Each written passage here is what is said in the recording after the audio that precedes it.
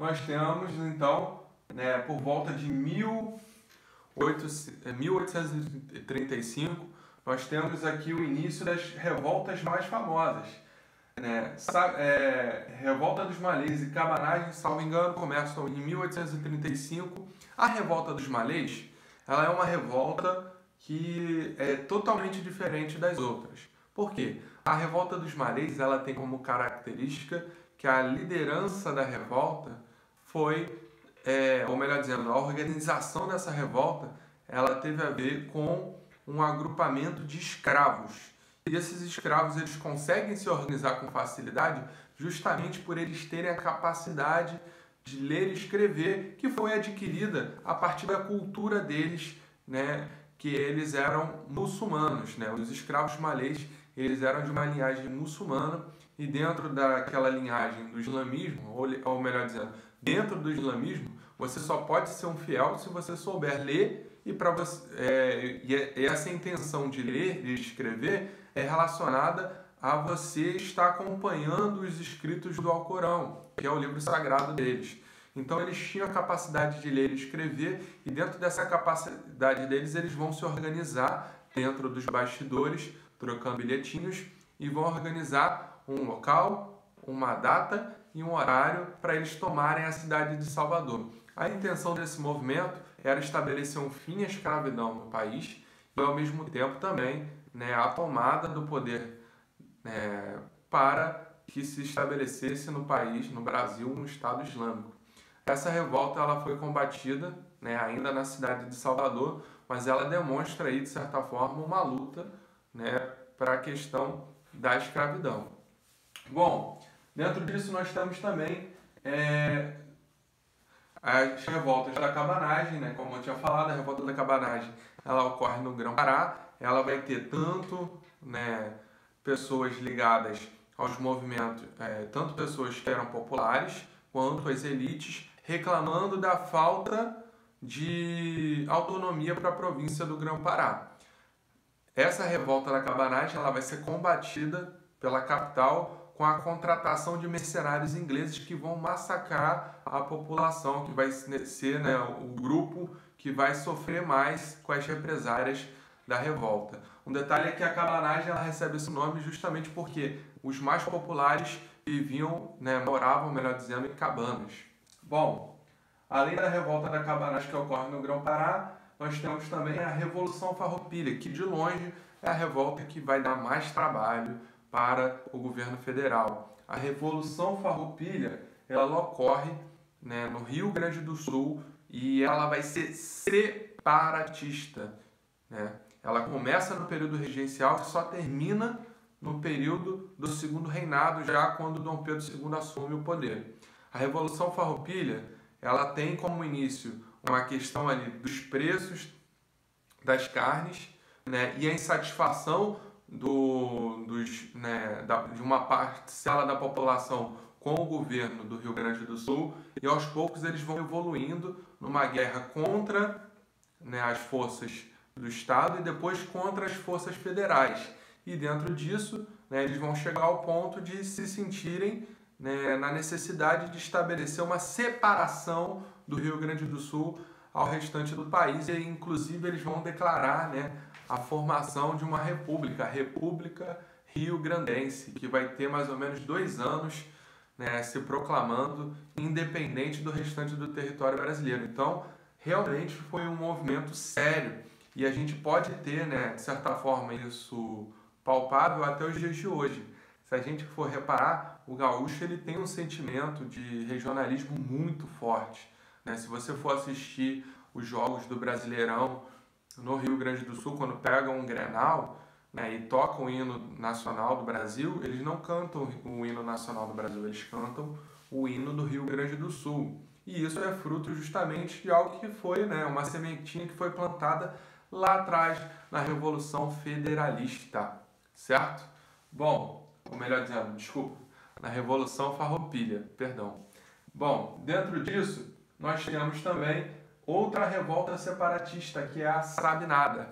A revolta da Sabinada, ela ocorre na Bahia, um pouco depois da Revolta dos Malês, que também ocorre na Bahia, e a Sabinada ela vai ter um movimento ali de liderança das elites locais que vão estar insatisfeitas com a questão do a questão do alistamento, vão estar insatisfeitas também com a questão da falta de autonomia para a província e vão estabelecer também a República é, Baiense. Vai ser estabelecida uma República Baiense, porém o, a Sabinada ela vai ter uma duração menor, a resistência não vai ser tão efetiva e o governo federal vai conseguir contornar essa revolta com mais facilidade se a gente comparar com a Revolução Farroupilha. Bom, a Sabinada ela recebe esse nome justamente porque a liderança dessa revolta era um cara cujo sobrenome era Sabino. Então, por isso o nome Sabinada. E por último, a revolta da Balaiada ela ocorre no Maranhão. Essa vai ter um envolvimento de muitas pessoas humildes, né? E essas pessoas humildes vão inclusive lutar contra a questão da escravidão também. Um detalhe é que a revolta da Balaiada, assim como a cabanagem, é uma revolta federalista. Eles apresentam uma insatisfação com o governo da província e com a falta de participação da população local do Maranhão nas decisões da localidade. Então, é uma revolta que está mais preocupada com as condições de poder e de manifestação da população dentro daquela província. Então a balaiada ela vai ser duramente reprimida e a balaiada recebe esse nome porque uma parte dos revoltosos trabalhavam com balaios, que era uma espécie de cestos que eles faziam e são esses balaios são conhecidos até hoje em dia naquela região. Bom, então as revoltas eu espero que vocês tenham compreendido e para fechar o período regencial eu vou voltar aqui né, nas regências. Então essas revoltas, todas elas vão ocorrer durante as regências unas. Vão existir duas regências unas, uma do Padre Feijó, que era um cara que estava dentro da primeira regência trina, é, no caso dentro da regência trina permanente, e o Antônio Feijó era um liberal moderado, como eu já tinha falado para vocês.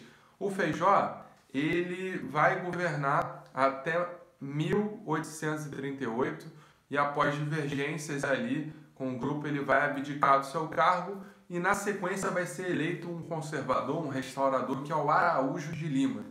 O Araújo de Lima ele vai governar como regente uno de 1838 a 1840. O detalhe é que, quando o padre Feijó ele abdica do seu cargo, os liberais moderados eles se afastam do poder. E o movimento do golpe da maioridade tem a influência dos liberais moderados que queriam retomar ao poder. Bom, dentro disso, então, as revoltas estavam ocorrendo como um pano de fundo e era um, um, um movimento de argumentação muito forte para que pessoas que tivessem né, interesse em colocar o Dom Pedro II no poder de maneira antecipada, é, é, era muito mais fácil você utilizar esse argumento. Então, os liberais moderados, dentro ali do governo do Araújo de Lima, eles vão é, conclamar a população a pressionar a Câmara dos Deputados e o Senado a aprovar uma diminuição da maioridade penal. Então, a Câmara dos Deputados também vai ser convencida pelos argumentos dos liberais moderados que tinham interesse de fazer ali né, um contato com Dom Pedro II e manipular ele após ele conseguir o governo. E também eles vão argumentar que a antecipação da maioridade para que Dom Pedro II se tornasse imperador seria importante para que Dom Pedro II é, conseguisse controlar as revoltas, já que ele, enquanto imperador, seria um elemento de unificação, de unificação né, para os cidadãos brasileiros. Então, a argumentação dos liberais moderados pressionando o Congresso, né, chamando a população para essa discussão, vai ser de que o imperador seria um elemento de unificação para o Brasil. Então, as, a, a, tanto a Câmara dos Deputados quanto o Senado aprovam a diminuição da maioridade penal e o Dom Pedro II ele vai assumir o Brasil em 1840 para 1841 com apenas 14 anos. Na verdade, ele estava prestes a fazer 15 anos. Então, o Dom Pedro II assume dentro desse contexto. Ele teve uma educação diferenciada, é, com intensificação para estudos, é, para questões de governo, para questões de política. Então ele vai permanecer no poder durante um bom tempo, vai ter atitudes, é, de, vão, vai ter ações boas, vai ter ações ruins, mas o contexto né, de, de afirmação, de golpe da maioridade né, costurado pelos liberais moderados, tinha como um pano de fundo esse interesse dos próprios liberais em terem ali né, privilégios, numa possível proximidade com Dom Pedro II. O detalhe é que na próxima aula vocês vão ver que o Dom Pedro II não vai dar essa facilidade, esses privilégios que eram esperados pelos liberais moderados. Bom, espero que vocês tenham entendido, galera, e até a próxima.